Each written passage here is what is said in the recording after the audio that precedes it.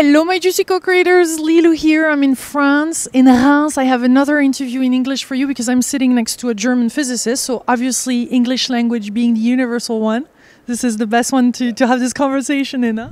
Okay, thank you. So thank you. You're one of the, the speakers here at this big event, a huge event. Uh, lots of people were in this beautiful space here in Reims. And uh, are you going to speak? To, have you? Are you tomorrow? Today? No, no, today. In in two hours, I have my presentation. In front of uh, 1,200 people, I think, if not more. Huh? No, could be, could be. It's, uh, it's very crowded. Yes. So tell me uh, a, a, little bit about your work because I did my research, but I would really love to understand because I, I, I, saw some things saying that you kind of was very interested about the Tesla work and that you then kind of continued a little bit along this genius work that he has done and found a missing link. Maybe is that right? I mean, what is? Tell us what your work is about. Well, what Tesla did was uh, practical engineering, and uh, he has said he has had no uh, theory and this is why he was not publishing anything in this direction, only about the practical application for wireless transmission of energy. And he even was speaking about the biological effectiveness. My uh, way was very different from his. Uh, I came from the theory. So I um, was writing my PhD about uh, vortex calculations and measurements and showing that these uh, calculations are right. And then at that point, I found out that uh, we only know uh, uh, expanding vortices. We call them eddy currents in electrical engineering, and we have no contracting vortex. You know that the contracting vortex, for instance, is uh, forming um, a tornado. If uh, you have such a storm, you see. Um, you need to have these contracting vortex from outside and the expanding from inside. Uh, so one needs the other to have a special structure. And in uh, electrical engineering, they have forgotten to describe the contracting vortex. I call this uh, um, potential vortex. Mm-hmm. And uh, when my, my theory was ready, it's now a long time ago. It was 1990 when I have uh, published my first paper and my first book. Um, and in at that time, I could um, publish a bit because uh, I was promoted by a colleague um, from the university in Dresden. He has given me an award for my my first books in 1994. It was and I could publish, but the second publication was stopped with the argument that if I would be right, then I would have to expand the Maxwell equation at one point because they have put, I tell this only in, in, in mathematics uh, description, it's called the third Maxwell equation, the divergence B, what is the magnetic flux density, is zero. So I said it this is a special case. And they said, no, if it would be not zero, then we would have magnetic monopoles.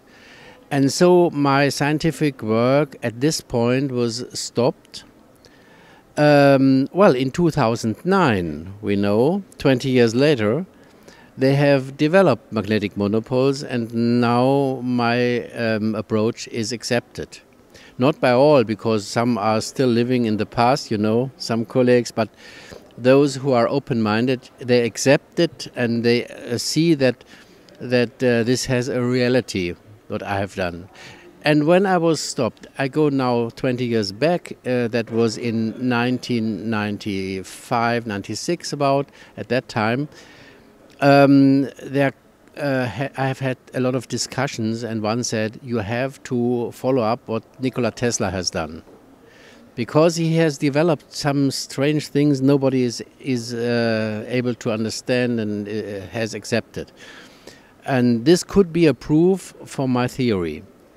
And then I started with this research, and in 1999 it was the first time when we could uh, show in a public presentation a rebuild of Nikola Tesla, uh, which was uh, proving that Tesla absolutely was right.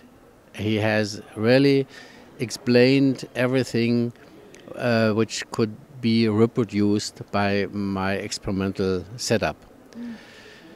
Well, and then we started to bring this setup into the market so that everybody is able to uh, use it and to uh, reproduce these results uh, if he is interested in, because nobody was believing at that time. You see, that was. What is the what is the physical application of that? Like, what does it mean for us? Uh, because Tesla, I mean, uh, he's, he developed so many things. I mean, he seems to have been all over the place on so many different levels, and on the internet, there's so much information about it. Like, we don't even know what's right or wrong you know and and what are the the the, the you know the, the the material implication i mean on earth like what does that translate into?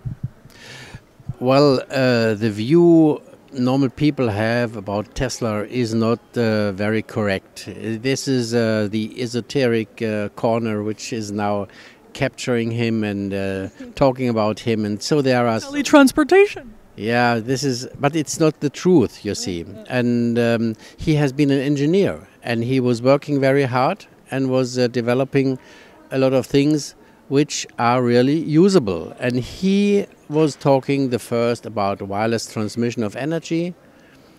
And this is one of the points I wanted to reproduce.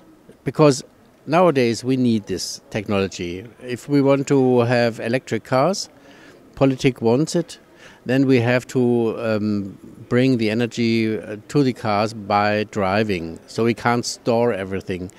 These electric cars are too expensive because of the batteries, of the costs of the batteries, and they they last uh, not very long, and they are very heavy and they're very expensive. So this is the problem for the car industry. And uh, if we would have some um, transmitters in our environment which are uh, transmitting the energy and if we have um, a special um, um, uh, pro program or, or modulation uh, so that only those who are paying for the power are getting the power, this is absolutely necessary to have such a system. Um, then I could think that this could be in use in the future. But it's a long way. Yeah. I had the chance to interview uh, Foster Gamble, you know, that developed the movies Thrive, and uh, he's in contact with many uh, inventors of free energy. Yes, I know him. Uh, I, I, met him in um, um, Albuquerque, um, New Mexico, last year on the Tesla Tech conference because I'm more often at this conference, and uh, he as well. Um, well, the free energy um, uh, group is always uh, looking for energy with no costs, but you know, this doesn't exist. Uh, all all the sources are free anyway. The, the sun is shining. We don't pay for the sun, but we have to pay for the devices which are changing uh, the power to uh, well to the usable electric power, and anyway would have to have such uh, devices as well. And politics is uh, sharing with, um, uh, yeah, uh, always driving with my car as a passenger mm-hmm. and a blind one, you see. And so we we have to, to, pay tax and so on. So this this is a dream to have free energy. Mm-hmm.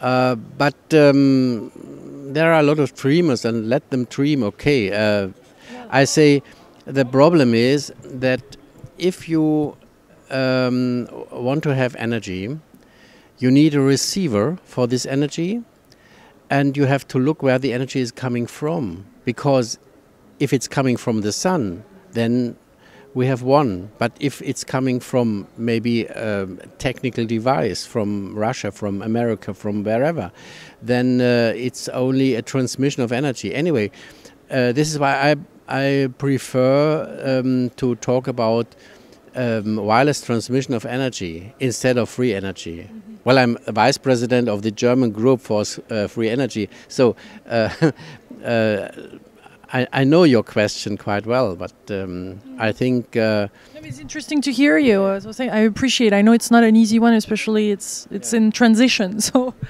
yes, and and there are some in our environment, some uh, transmitters Uh, because every every uh, transmitter, radio transmitter, TV transmitter, whatever, uh, military transmitters, they all send as well a part uh, as a scalar wave, and this scalar wave part is carrying energy and could be used as as a source of free energy.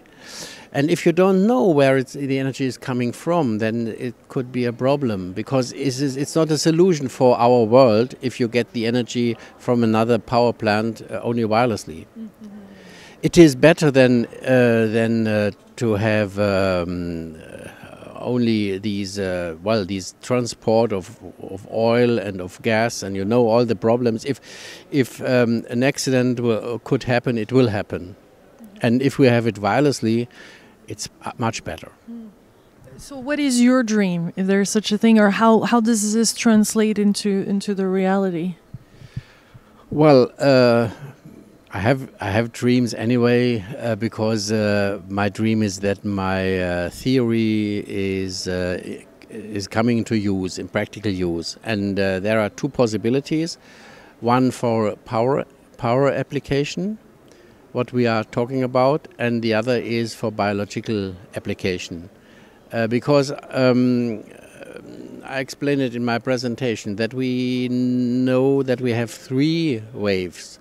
In former times, they were talking about two type types of waves: the transverse and the long-tail wave. The transverse wave, uh, Heinrich Hertz has developed. The um, long-tail wave, Nikola Tesla has developed, but he was always working with ball electrodes. That means like a capacitor from positive to negative charge. Then he has the propagation of these long tail wave in the direction of the electric field pointer. And what I point out in my presentation is that there is even the possibility of propagation in the direction of the magnetic field pointer and this is what the bio biology is using. So this field is absolutely new. Uh, this uh, wave, these uh, magnetic scalar wave, I call it, and um, the biology, the the uh, DNA, for instance, is using such a magnetic scalar wave. This is what I what I pick out and what I show and what I explain, and what we prove with some experiments I'm talking about at several um, uh, institutions in Germany, in Spain, in Italy, and as well in France.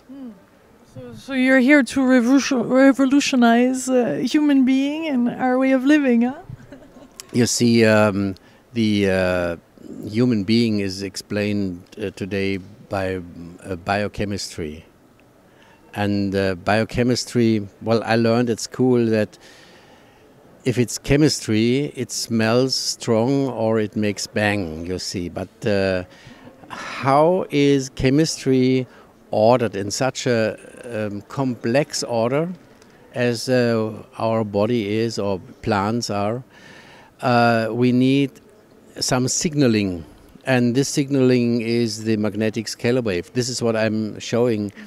So, if we have this approach and if we accept this approach, then uh, this will uh, lead to a totally new view on how nature is working. Thank you so much, Konstantin. Thank you for this interview. Thank you for the interview as well. big, big kisses to all co creators out there. Much, much love from Reims in France. Yeah. Bye.